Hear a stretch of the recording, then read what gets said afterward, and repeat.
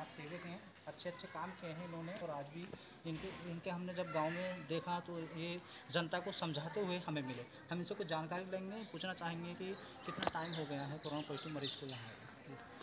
जी ये मरीज़ सर 26 तारीख को यहाँ आया है।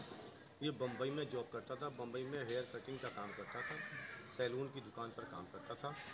वहाँ से ये ट्रेन से बैठा है और ट्रेन ने इसको लखनऊ छोड़ा है। इसकी जाँच तो बम्बई में भी हुई है। जी। और इसकी लखनऊ में भी जाँच हुई है। लखनऊ में ट्रेन से उतरने के बाद ये रोडवेज़ से जो सरकार ने रोडवेज़ बसें चला रखी हैं उनके द्वारा ये मुरादाबाद आया है। अच्छा। लखनऊ में भी इसकी जाँच हुई है मुरादाबाद में इसकी जाँच भी हुई है और इसका सैंपल भी लिया गया छब्बीस तारीख को। छब्बीस तारीख को। तो सर ये पॉजिटिव रिपोर्ट किस समय आई है? ये 26 तारीख को जाँच रिपोर्ट सैंपल लेने के बाद इनको वहाँ से ये चार लड़के थे। दो लड़के हमारे गाँव के थे और दो लड़के एक लड़का फरीदनगर का था और एक लड़का वाजिदपुर का था। चार लड़के थे चारों को वहाँ से गाड़ी करके और उसको रामूवाला गणेश क्वारंटीन सेंटर पर भेज दिया गया।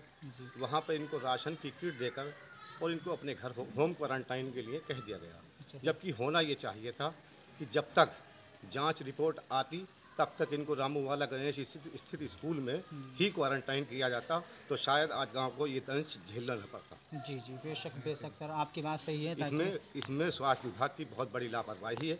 मैं तो स्वास्थ्य विभाग को ही कहूँगा कि उन्होंने इस अपनी लापरवाही का ठीकरा सारे उनकी लापरवाही की वजह से सारा गाँव आज कोरोना का दंश झेल रहा है और पता नहीं वो लड़का 26 तारीख में आया है 28 तारीख में उसकी रिपोर्ट आई है तब तक वो कितने लोगों से यहाँ मिला होगा कितने लोग उसके संपर्क में आए होंगे जी। और तमाम लोगों की यहाँ पंद्रह पंद्रह लोगों की जाँच कल भी हुई है और भी लोगों की जाँच होनी चाहिए और तमाम लोगों की फ़िलहाल वैसी जाँच होनी चाहिए मैं तो यही कहूँगा।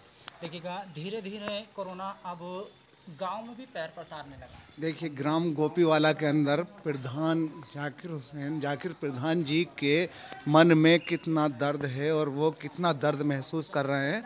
और देखिए, किस तरह से स्वास्थ्य विभाग की ही कमी बता रहे हैं ऐसे में, और उन्हें बहुत दुख है इस बात का। इस बात का बहुत दुख है कि यहाँ जो लोगों की जाँच हो रही है, ऐसा जो समा देखने के नहीं मिला है, ग्राम गोपीवाला के लिए बड़ा दुर्भाग्यपूर्ण है। और देखिए प्रधान जी एक लंबे समय से समाज के सेवक रहे हैं समाज की सेवा करते चले आए हैं और इनके मन के अंदर बहुत ही दुख है पीड़ा है इस चीज़ की कि गाँव में पता नहीं कितने लोगों की क्वारंटाइन की जाँच होगी। मैं न्यूज़ लाइव दिखा रहा हूँ आपको।